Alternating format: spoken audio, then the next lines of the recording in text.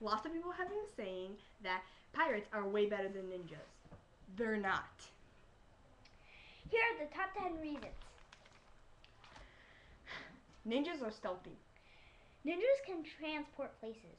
Ninjas wear black. Black rocks. Pirates steal things. Ninjas help people.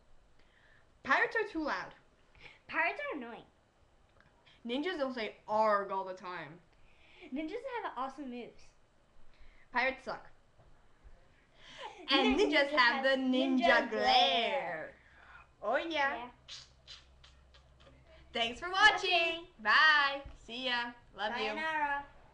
Be a ninja, not a pirate.